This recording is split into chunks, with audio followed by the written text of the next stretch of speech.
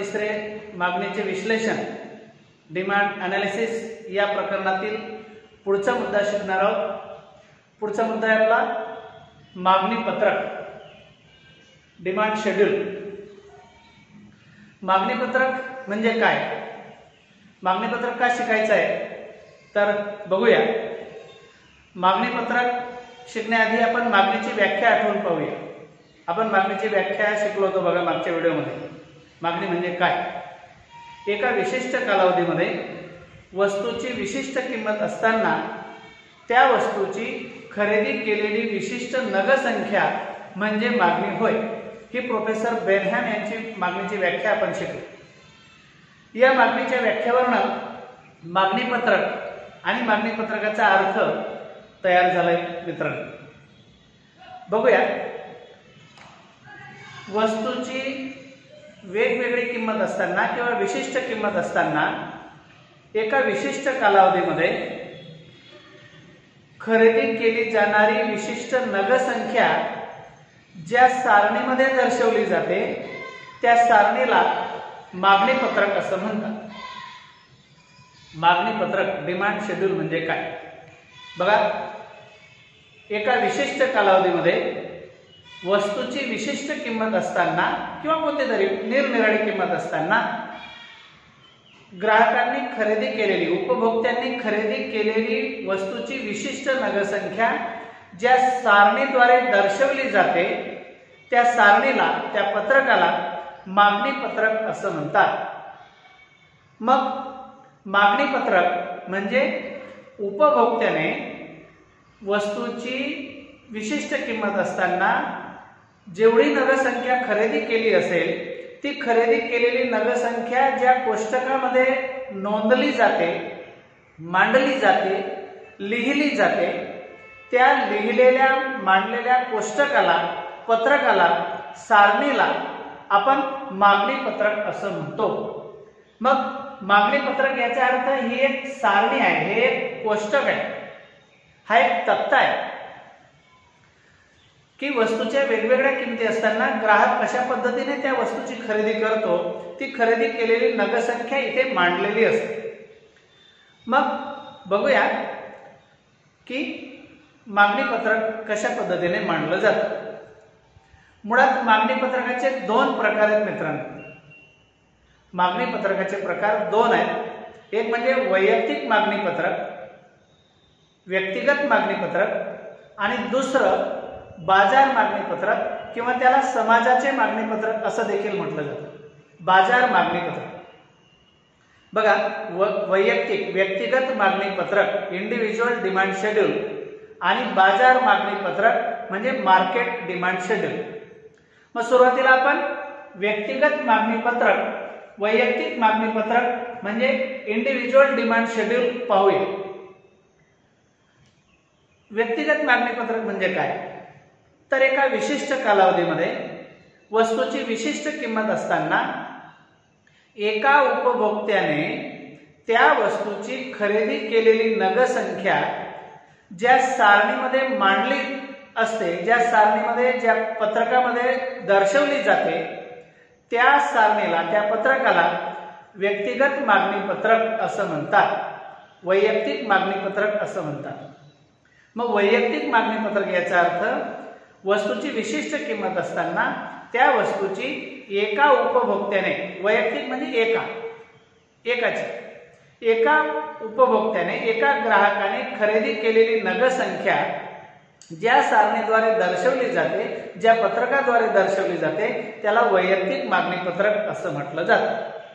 म्हणजे ते खाजगी मागणी पत्रक म्हटलं तरी चालेल. एका उपभोक्त्याचं मागणी पत्रक मग तक्ता आणि आलेखावर्णन तुम्हाला वैयक्तिक मागणी पत्रक कशा पद्धतीने असतं ते अधिक चांगल्या प्रकारे समजू शकेल. आपण बाजूला तक्ता दाखवूया. या बाजूला दाखवलेल्या तक्त्यामध्ये तुम्हाला दिसत आहे की दोन कॉलम आहेत रकाने.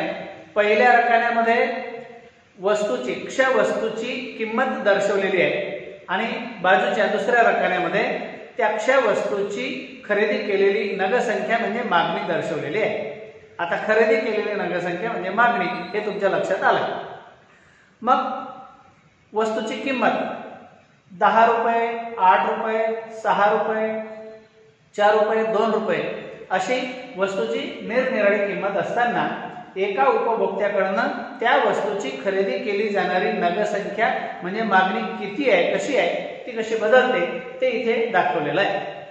बघा मित्रांनो सुरुवातीला जेव्हा वस्तूची दहा रुपये किंमत आहे तेव्हा त्या वस्तूचे एक नग खरेदी केलं जातं.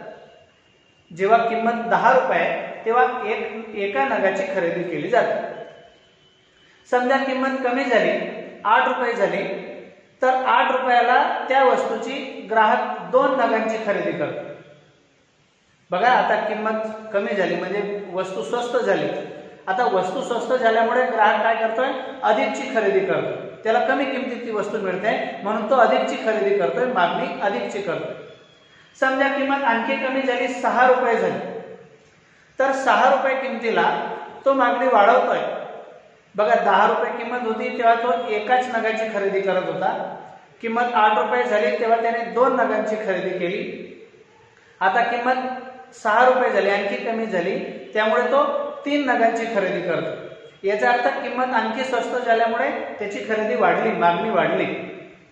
समजा किंमत आणखी कमी झाली सहावरनं चार रुपये झाली तर तो चार नगांची खरेदी करतो. बघा जसजशी किंमत कमी होत जाते आहे तसतशी ग्राहकाची खरेदी वाढत जाते मागणी वाढत जाते. किंमत दोन रुपयापर्यंत कमी झाली तर तो पाच नगांची खरेदी करतो. इथे या पत्रकाद्वारे असं दिसतंय की जसजशी वस्तूची किंमत कमी कमी होते आहे दहा आठ सहा चार दोन तशी खरेदी म्हणजे मागणी वाढत जाते. या अर्थाने वस्तू स्वस्त झाल्यास ग्राहकाकडनं उपभोक्त्याकडनं त्या वस्तूची मागणी म्हणजे खरेदी वाढते. आपण उलट पाहूया. किंमत दोन रुपये तेव्हा तो पाच नगांची खरेदी करतो. समजा किंमत वाढली ती सहा रुपये चार रुपये झाली. चार रुपये किंमत असताना तो चार नगांची खरेदी करतो. किंमत आणखी वाढली सहा रुपये तो तीन नगांची खरेदी करतो. किंमत आणखी वाढली आठ रुपये तो दोनच नगांची खरेदी करतो. किंमत आणखी वाढली दहा रुपये तो एका नगाची खरेदी करतो. म्हणजे जसजशी किंमत वाढायला लागते म्हणजे वस्तू महाग व्हायला लागते तसतशी त्याची मागणी कमी होत जाते म्हणजे खरेदी कमी होत जाते. या अर्थाने वस्तू स्वस्त मिळत असेल तर ग्राहक अधिक खरेदी करतात मागणी अधिक करतात. आणि वस्तू महाग असेल तर कमी खरेदी करतात मागणी कमी करतात. हे एका व्यक्तिगत मागणी पत्रकावरनं आपल्याला दिसून येत आहे. याच व्यक्तिगत मागणी पत्रकावरनं आपल्याला आलेख देखील तयार करता येईल. आणि त्या आलेखावरनं सुद्धा आपल्याला मागणी पत्रकामध्ये दर्शवल्याप्रमाणे वस्तूची किंमत आणि त्या वस्तूची मागणी यांच्यातला कार्यात्मक संबंध कसा आहे ते दाखवता येईल मित्रांनो. कारण मागणी पत्रक म्हणजे काय? वस्तूची किंमत आणि त्या वस्तूची मागणी या दोघांमधला कार्यात्मक संबंध दाखवणारी संकल्पना. मागणी पत्रक ही संकल्पना वस्तूची किंमत आणि त्या वस्तूची मागणी या दोघांमधला कार्यात्मक संबंध दाखवणारी संकल्पना आहे. आणि म्हणून मग आता आपण मागणी पत्रक शिकतोय. आलेखामध्ये बघा मागणी आणि किंमत यांचा संबंध दाखवलेला आहे. आलेखामध्ये दर्शवल्याप्रमाणे बाजूला तुम्हाला आलेख दिसतोय. या आलेखामध्ये दर्शवल्याप्रमाणे उभा जो अक्षय ऍक्सिस आपण त्याला म्हणतो हा उभा य अक्ष आहे आणि आडवा क्ष अक्ष आहे तुम्ही आलेखाच्या कागद वापरला असेलच नवी दहावीमध्ये अकरावीमध्ये. तर त्या आलेखाप्रमाणे आता आपल्याला इथे आलेख काढायचा आहे. हा उभा य अक्षर आणि आडवा क्ष अक्ष आहे उभ्या य अक्षावर किंमत दाखवलेली आहे. आडव्या क्ष अक्षावर मागणी दाखवलेली आहे. आणि अ जिथे आहे तिथे शून्य किंमत आहे. जसजसं आपण क्षकडे जाऊ अक्ष अक्षावर पुढे सरकू तसतशी मागणी वाढत जाईल. या अक्षावर जसजसं आपण वरती जाऊ तसतशी किंमत वाढत जाईल. हे आपल्याला आलेखामध्ये दिसत आहे मग किंमत दोन चार सहा आठ दहा तशीच मागणी एक दोन तीन चार पाच नग असे दाखवलेले आहे पत्रकाप्रमाणे. मग जसजशी किंमत कमी होते दहावरून आठ रुपये सहा रुपये चार रुपये दोन रुपये तसतशी मागणी वाढत जाते हे आपल्याला दिसत आहे आणि म्हणून मग हे सगळे पॉइंट जर का काढले आणि ते पॉइंट जोडले तर एक सरळ रेषा तयार होते. बघा बाजूला तुम्हाला आलेखामध्ये दिसते. ती सरळ रेषा जी तयार होते ती जोडली तिला म म असं नाव दिलं. ती म म हा मागणी वक्र आहे मित्रांनो. आणि म्हणून हा म म मागणी वक्र आपल्याला असा दिसतोय वरून खाली उतरत जाणारा. असा आपल्याला मागणी वक्र दिसतोय. बघा मागणी वक्राचा आकार नेहमी डावीकडून उजवीकडे वरून खाली उतरत जाणारा असा असतो. त्याला ऋणात्मक उतार असं म्हणतात. ऋणात्मक उताराचा मागणी वक्र असतो. या अर्थाने मग या एका उपभोक्त्याने खरेदी केलेली नगसंख्या आणि त्याची त्या वस्तूची किंमत यांचा संबंध या आलेखामध्ये दाखवलेला आहे. जेव्हा दहा रुपये किंमत असते तेव्हा तो एकाच नगाची खरेदी करतो. जेव्हा किंमत आठ रुपये झाली तो दोन नगांची खरेदी करतो. किंमत सहा रुपये झाली तो तीन नगांची खरेदी करतो. किंमत चार रुपये झाली तो चार नगांची खरेदी करतो. किंमत दोन रुपये झाली तो पाच नगांची खरेदी करतो. अशा पद्धतीने जसजशी किंमत कमी होत जाते तसतशी त्याची मागणी वाढत जाते. हे सगळे पॉइंट जर का आलेखावर आपण जोडले तर बाजूला दाखवल्याप्रमाणे म म असा मागणी वक्र आपल्याला दिसतोय मिळतोय. आणि या म म मागणी वक्रावरून स्पष्ट दिसतंय की मागणी जसजशी किंमत कमी होत जाते तसतशी मागणी वाढत जाते. आणि म्हणून मागणी वक्र डावीकडून उजवीकडे वरून खाली उतरत जाणारा असा ऋणात्मक उताराचा आपल्याला दिसतो. हे झालं वैयक्तिक मागणी पत्रक. आता मागणी पत्रकाचा दुसरा भाग आपण शिकूया. ब भाग. तो म्हणजे बाजाराचे मागणी पत्रक. Market demand schedule. बाजाराचे मागणी पत्रक म्हणजे काय? तर एका विशिष्ट कालावधीमध्ये वस्तूची निरनिराळी किंमत असताना बाजारातील अनेक किंवा बाजारातील सर्व उपभोक्त्यांकडून वस्तूची खरेदी केली जाणारी विशिष्ट नगसंख्या ज्या पत्रकामध्ये दर्शवली जाते त्या पत्रकाला बाजाराचे मागणी पत्रक असे म्हणतात. बघा बाजाराच्या मागणी पत्रकामध्ये आता उल्लेख असणार आहे.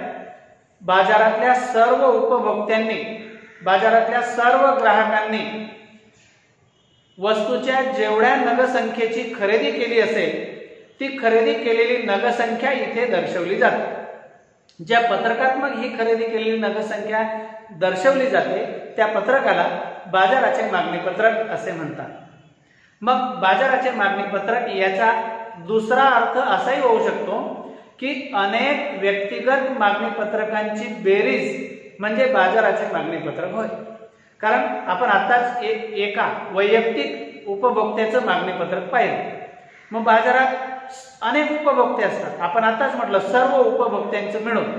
मग याचा दुसरा अर्थ आपण असंही म्हणू शकतो की अनेक वैयक्तिक उपभोक्त्यांचं मिळून बाजाराचं मागणी पत्रक तयार होतं.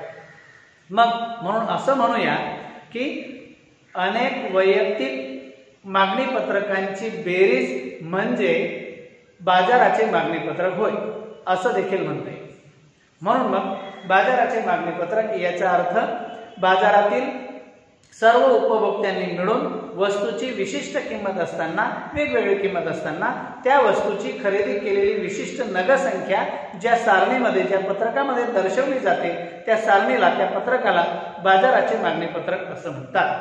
मग बाजाराचे मागणी पत्रक हे जर का बाजाराची स्थिती समजून घ्यायची असेल तर आपल्याला वैयक्तिक मागणी पत्रकापेक्षा अधिक फायदेशीर ठरतं. बाजाराची स्थिती आपल्याला या बाजार मागणी पत्रकावरनं अधिक चांगल्या प्रकारे समजू शकते मित्रांनो.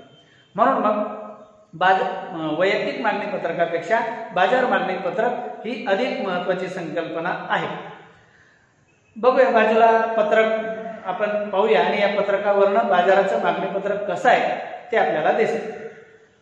बाजूला दाखवल्याप्रमाणे वस्तूची विशिष्ट किंमत असताना अ ब क अशा वेगवेगळ्या उपभोक्त्यांनी कशा पद्धतीने खरेदी केलेली आहे ती खरेदी इथे दाखवली आहे. आणि सर्व उपभोक्त्यांनी केलेल्या खरेदीची बेरीज म्हणजे शेवटच्या रकानामध्ये बाजाराची मागणी आपण इथे दाखवलेली आहे.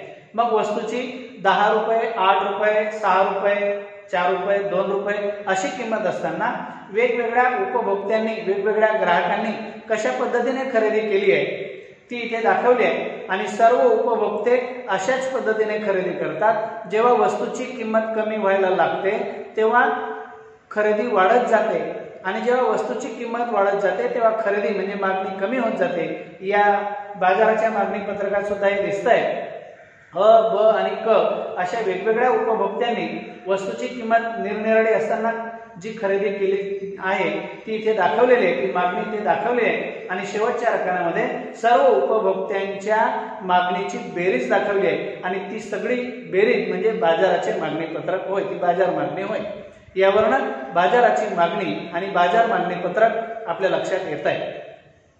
यानंतर आलेखामध्ये देखील आपल्याला हे दाखवता येईल की बाजार मागणी कशा पद्धतीने बदलते आणि बाजार मागणी पत्रकावरूनच आलेख कशा पद्धतीने तयार करता येतो ते तुमच्या लक्षात येईल. बघा बाजूला आलेखामध्ये उभा अक्ष जो आहे तो य अक्ष आहे वाय ऍक्सिस आणि आडवा अक्ष आहे तो क्ष अक्ष आहे एक्स ऍक्सिस आडव्या अक्षावर मागणी वक्र किलोग्रॅममध्ये दाखवली आहे. उभ्या य अक्षावर वस्तूची किंमत रुपयामध्ये दाखवलेली आहे. आणि वस्तूची किंमत दहा रुपये आठ रुपये सहा रुपये चार रुपये दोन रुपये ही दाखवली आहे. तशीच बाजाराची जी मागणी आहे ती वीस किलोग्रॅम चाळीस किलोग्रॅम साठ किलोग्रॅम ऐंशी किलोग्रॅम आणि शंभर किलोग्रॅम अशी या आलेखामध्ये आपण दाखवूया. क्ष अक्षावरती दाखवूया. त्या पत्रकाप्रमाणे जर का पॉइंट काढले तर किंमत दहा रुपये असताना फक्त वीस किलोची खरेदी होते. किंमत कमी झाली आठ रुपये झाली तर खरेदी वाढते चाळीस किलोची किंमत आणखी कमी झाली खरेदी वाढते किंमत दोन रुपयापर्यंत कमी झाली तर खरेदी शंभर नगापर्यंत शंभर किलोपर्यंत वाढते. हे ते पत्रकामध्ये जे दाखवलं होतं ते आलेखामध्ये आपल्याला दाखवता येत आहे. आणि अशा पद्धतीने जसजशी किंमत कमी व्हायला लागते तसतशी मागणी बाजाराची मागणी सुद्धा वाढते. आणि म्हणून मग बाजाराच्या मागणी वक्र सुद्धा आधीच्या मागणी वक्राप्रमाणे डावीकडून उजवीकडे वरून खाली उतरत जाणारा ऋणात्मक उताराचा असतो. आणि म्हणून मग हा मागणी वक्र आपल्याला या आलेखामध्ये दाखवल्याप्रमाणे दिसतोय. याचाच अर्थ वस्तूची किंमत आणि वस्तूची मागणी या दोघांमध्ये विरुद्ध संबंध असतो. हे आपल्याला बाजार मागणी पत्रकामध्ये देखील पाहायला मिळालं आणि आधीच्या वैयक्तिक मागणी पत्रकामध्ये देखील पाहायला मिळालं. जेव्हा वस्तूची किंमत कमी व्हायला लागते तेव्हा मागणी वाढत जाते. आणि जेव्हा किंमत वाढत जाते तेव्हा मागणी कमी होते. याचा अर्थ वस्तूची किंमत आणि त्या वस्तूची मागणी या दोघांमध्ये विरुद्ध संबंध असतो व्यस्त संबंध असतो. हे आपल्याला या मागणी पत्रक आणि मागणीच्या आलेखावरनं दिसून येत आहे. बाजाराच्या मागणी पत्रकात देखील आणि व्यक्तिगत वैयक्तिक मागणी पत्रकात देखील आपण ते पाहिलं. या अर्थाने विद्यार्थी मित्रांनो कायमस्वरूपी लक्षात ठेवायचं आहे की वस्तूची किंमत आणि त्या वस्तूची मागणी यामध्ये विरुद्ध संबंध असतो व्यस्त संबंध असतो. हे आता तुम्ही लक्षात ठेवायचं आहे. इथे मागणी पत्रक ही संकल्पना आपली संपली आहे. थँक्यू मित्र. Thank you friends